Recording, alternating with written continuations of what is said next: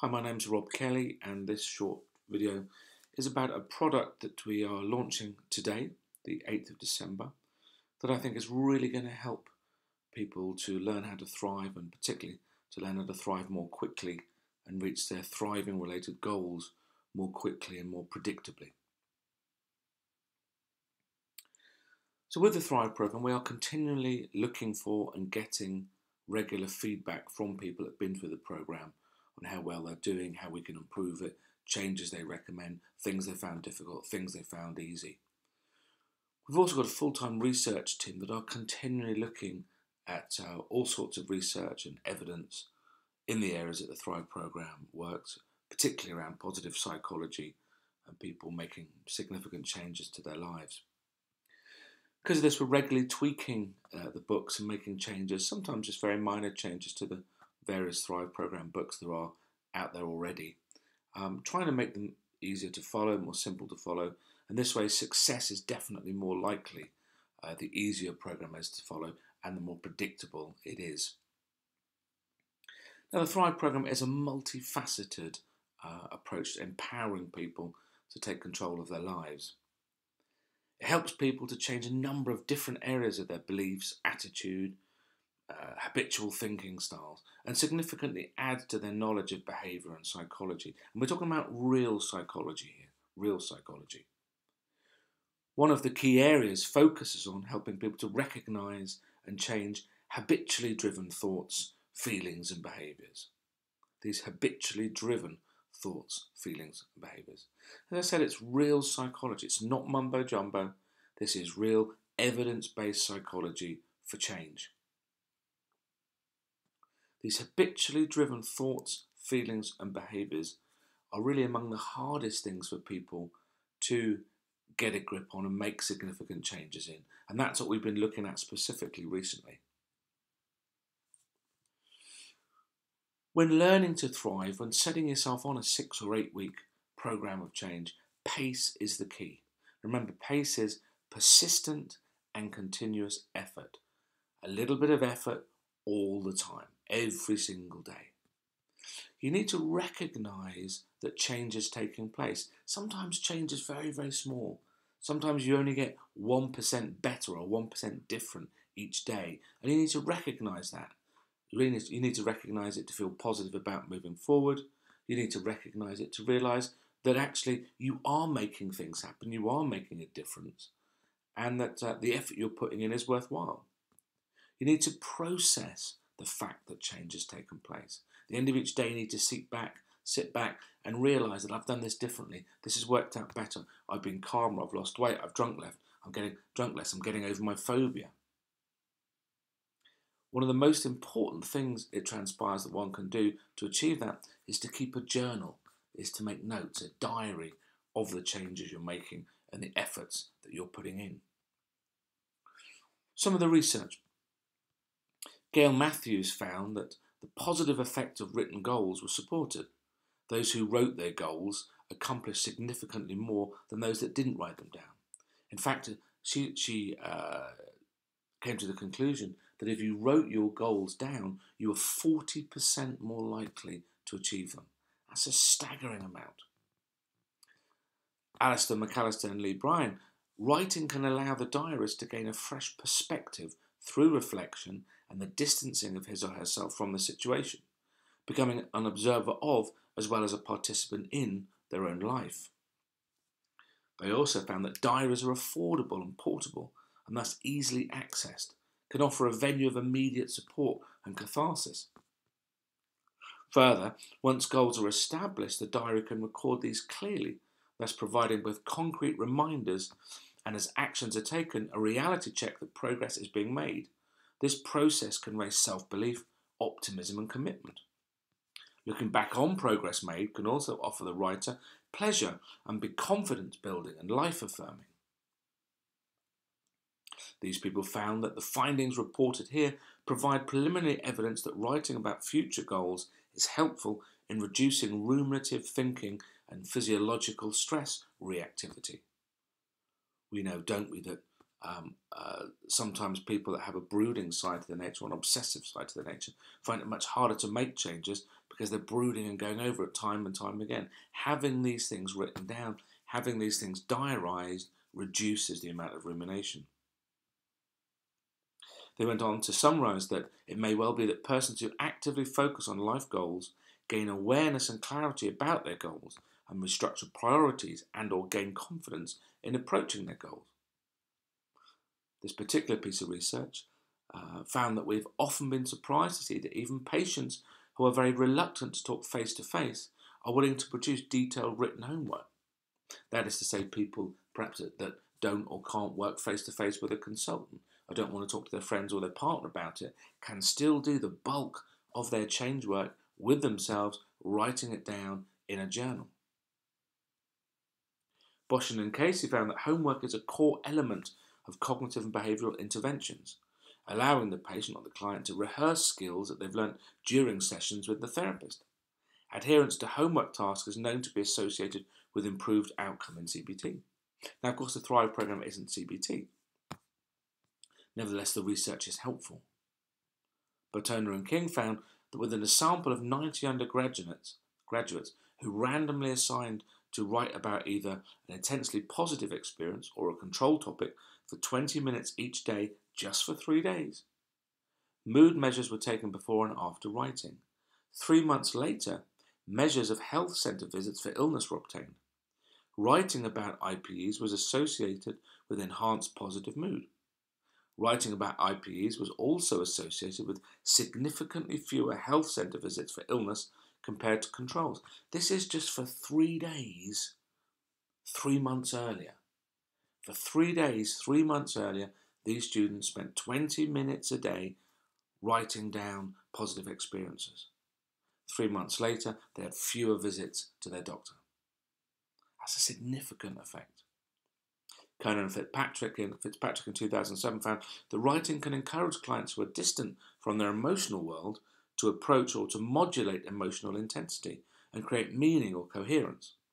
And what they're really meaning is, though you might verbalize something strongly or in a catastrophic way, like, oh my God, my, my day was bloody awful today, they're less likely to write that down. In fact, they're more likely to think it through and say, work was quite difficult today. So it allows one to modulate your emotional intensity, to reduce the catastrophizing perhaps, to reduce the dramatic element in your thinking and your feeling. So we've looked at all of this research. These are just some of the slides here. And we looked at all the feedback and we've spoken to lots of people who've been through the program. And what we've done, uh, I'm very pleased to say, is created a very, very simple product to help everyone get through the program as easily and predictably as possible. So I'd like to introduce to you the Thrive Program Journal. Now you can't tell from the picture, but this is an A5 size book. So it's a half size of our normal book. It's small enough to fit in a handbag or a back pocket or a suit, sorry, a briefcase or a work bag or something like that. We put a cover on it that actually, although it does mention Thrive, is fairly unobtrusive. It's not really going to attract much attention from people. So you can use this book sitting on a train, at work, sitting at home. It's easy to keep it in your top drawer, keep it away from prying eyes. So this is the Thrive Program Journal. Now this journal can be used alongside any of the other Thrive Program books, be it the smoking book, uh, the emetophobia book, the main Thrive book, the Fear of Flying book, or any of the new books that are coming out. What you have is two pages per day to make your notes in. The program set out in the book for eight weeks. Most people don't take anywhere near eight weeks, but there's eight weeks worth of pages in the book so that you've got eight solid weeks, 56 solid days worth of journal in there. Now you can use this journal whether or not you're seeing a consultant for help or whether you're just going through one of the books by yourself at home. It's easy to follow a specific plan that's going to be laid out for you in the journal. It's easy to stay on track when you've got a specific plan to follow. When you know you're on track, it's much easier to stick to it. Also, if you are going to drift off for a few moments, it's much easier to see where you've drifted off track in order to get back on it, because it's never going to be more than one day. It's really useful for goal specific thriving. That is to say, even if you're halfway through the program or you've already been through the program, I launched this at our annual conference this weekend, and most of the Thrive consultants are already using the journal for themselves, and most of them are already really thriving to a high degree. It may well be that you're already thriving in your life, but you want to train for a marathon, or you want to lose some more weight, or you've got another goal you want to set for yourself. It's ideal. Uh, it's an ideal way of achieving that particular goal, writing it down, and you can focus on it for six to eight weeks, and this will really help you to achieve it. Most people don't like carrying around a big, bulky A4 book. Many people that go through uh, the normal Thrive program book work with it at home and don't carry it around with themselves in the day. They perhaps consider it quite big and bulky. Or there's lots of written work in there uh, that they'd much prefer to have in a smaller, easier to use diary.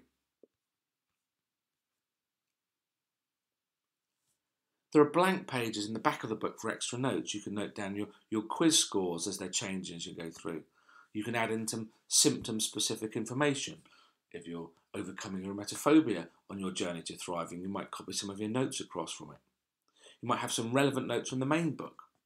You might have some homework that your consultant has specifically given you, or anything else you want to make notes of. You can keep everything you need to know packed within this one booklet. You will still need to refer to your main book there are no other notes in here. It's a very, very simple um, journal. There's, there's an introduction page at the front, and then basically it's just two pages copied out for eight solid weeks. So this is the first page. This is the left-hand page that you're seeing when you open the book. And it starts with a, a statement I'm grateful for. So starting your day, any day, with a gratitude attitude is incredibly empowering. Not only does it help you to keep a realistic appraisal of or have a good perspective on your situation or life, it encourages you to focus on what you have actually got in life rather than what you haven't got, and hence helps promote calmness and internality. What are you grateful for today? Your answer might simply be my children or the lovely weather. It could be something like having my lovely friends around me or being able to get around. For some people, including myself, the answer is quite often simply being alive, being around today. Some people died last night. The next line down is What sort of day do I want? Or what sort of day do you want? Do you want a lovely day, a calm day, a day without pain, a day without anger or alcohol? Maybe you simply want a day where you can manage your thinking well. Why wait until three o'clock in the afternoon to realise that you've wandered off track in your thinking or your mood or your goals? Start the day with the, the way you want to proceed. Set out your stall first thing in the morning. I'm going to stay positive and have a great day today. Write that down, make a note of it. The next line is what do you need to do to achieve this? What do you need to do to achieve the sort of days you want? Do you need to eat less, work harder, or maybe get up earlier? Do you need to focus more on your Thrive work? Study your Thrive book more, maybe spend some more time writing in this journal. Maybe you need to have a conversation with your boss apologise to your wife, or phone your friend up. Writing it down here will make it far more likely to happen. The next part is steps I am taking to build my foundations. What steps do you need to be taking today? Remember that your foundations are your sense of power and control over your experiences, what we used to call just locus of control. And in addition, your self esteem. What do you need to do today to create a more internal sense of power and control? and raise your self esteem. Maybe you could challenge one or more of your answers to your locus of, co- locus of control space quiz in your book. Maybe you could sit down and do your processing the positive exercise, which is actually on the next page. Maybe you could challenge your social anxiety by going into town and talking to a stranger, or wearing odd socks, or sending an email with a spelling mistake in. Other things I'm working on, which is the next column down, this is obviously the place for you to note whatever else you're working on at the moment. Your comment here might be go to the gym today, run for 30 minutes, eat less, organise the works Christmas party, take the dog for a walk or something similar. Make a note of it here, and it's far more likely to happen today. On the bottom half of this page, you can use the boxes to change unhelpful thinking or language you've used. This is an incredibly important exercise, and it's in every single version of the Thrive program book, changing negative or unhelpful thinking or language into far more positive. This is what the right hand page uh, looks like, and it's separated into just two sections. today's positives, and daily notes and reflections. The top part is for your positives list. This is also part of every Thrive program manual. Your positives can be any positive experience you've had in the last day. I haven't numbered this list, but I want you to aim for between 5 and 10 new experiences every single day. Now, these can be small things like I felt good in my new suit or someone smiled at me on the way into work. Slightly bigger things like I feel better since I started exercising, well done me. Or really big things like I'm working through my Thrive journal and are beginning to change my life. If you can, try and add at least a few positives that are Thrive related, such as Yesterday I did really well to manage my thinking during a meeting, or I'm proud I stayed relaxed at the dentist yesterday. Either way, you want to find 5 to 10 new positives every single day. The bottom half of this page, Daily Notes and Reflection, is the area where you can make notes about your progress, differences you are seeing, small changes you're making. It's really important to document uh, that sometimes you see very small benefits. Recognize that the efforts you're putting in are having positive effects and you are on the road to thriving. You might want to draw a picture here or do a little mind map or make a note of how high you got your self esteem to today. Either way, all of your notes about your day, about your journey, about your progress, about your route to thriving can be summarized in this two page spread every single day. Everything you need to know right in front of you on one page uh, sorry, two pages, but on, on one block right in front of you. We're really, really excited about this journal. It's so, so simple, and yet I believe that it's foolproof.